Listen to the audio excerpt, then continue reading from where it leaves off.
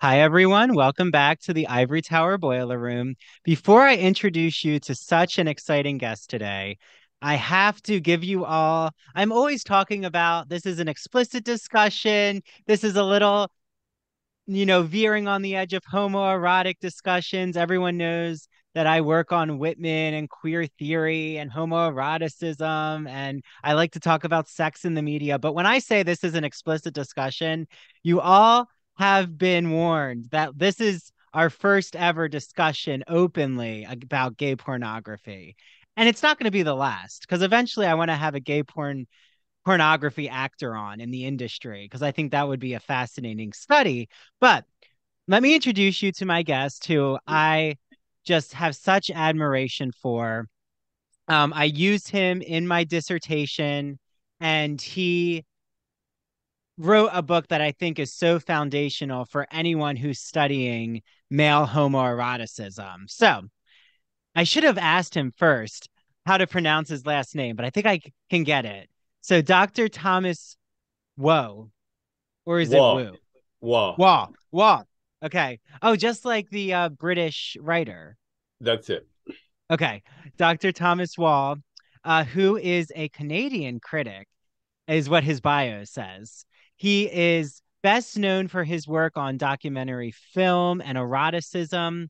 He really specializes on gay pornography, on eroticism in arts and culture. Um, I know that he's written, we're going to talk, get into his canon of writing, but it spans all the way from 1977 up until the present day. And he actually went to Columbia University for his PhD. I need to talk to him about that experience with the work that he does. Um, and he is the Distinguished Professor Emeritus of Film Studies and Interdisciplinary Studies in Sexuality. So, yeah, without further ado, here is Thomas Waugh. How are you, Thomas? I'm great. Hello, everyone. Hello, Andrew. Hello. Well, so I was talking to Thomas first I think it's helpful for the audience and for me to learn as one of your devoted now fans. And, you know, I'll get into, he's already seen how he makes an appearance in my dissertation.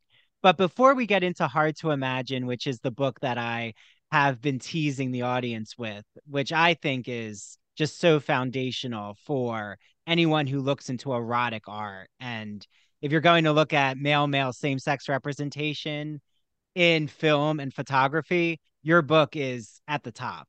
But before that, how did young Thomas, you know, make his way to Columbia? Like, was there there this mission in your mind of, okay, I know that I need to study eroticism. Like, there's something about this culture that just fascinates me. Like, how did that enter your mind? The path was a little bit circuitous. In the late 60s, I was an English major and I was very impatient with that discipline. It was pretty stodgy. Uh, and uh, I loved the movies and I didn't really know what to do. So after I finished my BA, we have something called CUSO in Canada, which is our version of the Peace Corps. And I said, I've got to get out of here.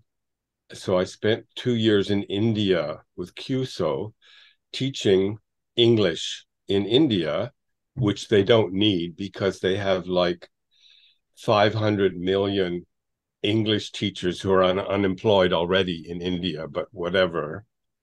So I was there for two years, sort of looking for myself and during that time, I came out to myself fully as a gay man. I already knew it, but I decided to do something about it. And I also made a decision to drop English literature and move into film, film studies. So from over there, I applied to several places for graduate work including Columbia. Columbia was the only place that offered me money. So I grabbed it and I ended up in Columbia in 1972 for my Master of Fine Arts and then eventually my PhD. So I was four years in New York City. And if anyone wants to come out, New York City in 1972 is a pretty good choice. Wow. So 1972, you're there in New York City. And this is your first time ever in the States, is when you went to Columbia? No, um, I mean Canadians very often have holiday take holidays, vacation in the states, or I think we'd gone to the beach in Maine once or twice. But you know, this was the first serious immersion in American culture, and Manhattan's a good place to do that. Yeah. So, you know, do you miss that Manhattan culture now? Like, because I think you don't live in Manhattan. No, um, I do a little bit. Um, it was very exciting. I established in four years, you established friendship circles and intellectual communities and political communities. And when I got my tenure track job in Canada in 1976 in Montreal, I had to leave all that behind. So that was like a big displacement. But of course, I kept trying to keep in touch with everyone and uh, I have very, very fond memories about those four years in Manhattan. Yeah, well, so let's get right into it. Um, which is, you know, the work that you in nine so 1972, you know, you're in Manhattan. What year did you get your PhD? Was it 1972? No, um, I finished uh, my coursework in 76, wrote my comprehensives, and I had to finish my dis, but in those days I was able to get a job without having a, a final PhD. So I mm-hmm. came up here, uh, thought I'd be able to finish my discs in a year or two, but it took me five, and it wasn't a queer topic at all. It was a sort of a new lefty documentary topic. Mm. And uh, I was sort of postponing the vision of doing something queer professionally in, in film studies. And uh, as you mentioned, it really wasn't only until, uh, well, a little bit later that I started publishing on queer cinema. Uh, and that was really an important shift. Yeah. Well, a nice quick search on your Wikipedia shows, you know, you have to question Wikipedia, but I feel like Wikipedia now is a pretty, you know, reliable source of publications. But so when I see that you published Who Are We? A Very Natural Thing, The Naked Civil Servant, Films by Gays for Gays in 1977, was that your dissertation? No, no. Ah. What happened there was Jump Cut was a very important tabloid newsprintish new left pu- film publication in the States. It was wonderful and I loved it. However, after I started reading it around 1974, they published a, a critique of a film, a Clint Eastwood film. And the big heading, the title of the film was Tight Ass and Cocksucker or something really homophobic. And I wrote them a letter saying, What are you doing? This is insane. Uh, it's a stupid homophobic film, but your review doesn't have to be homophobic. Um, and they apologized and recruited me to write for them.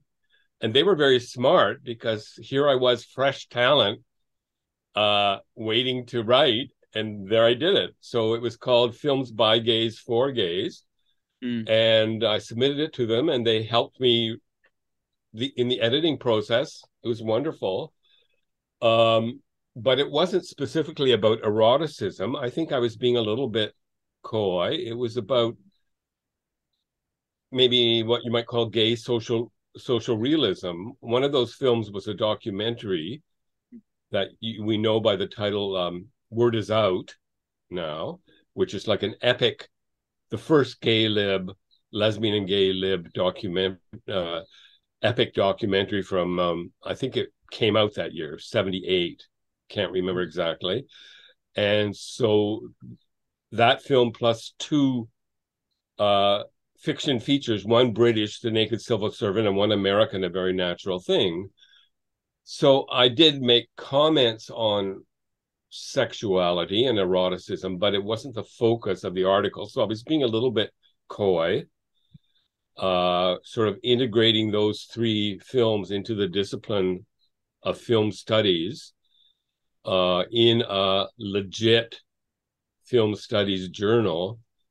Uh, so that was my first big queer publication. Meanwhile, I had been publishing uh, gay film reviews in the Body Politic, which was our sort of our radical political monthly in Toronto, a gay uh, monthly. And uh, yeah, so uh, published some critiques. And around that time, I had published uh, a review of a very erotic film by Derek Jarman called Sebastiane. And it rubbed me the wrong way for some reason. Now I love it but I was very negative about it. And maybe it was a kind of symptomatic thing about being uh, provoked by its blatant eroticism. I don't know.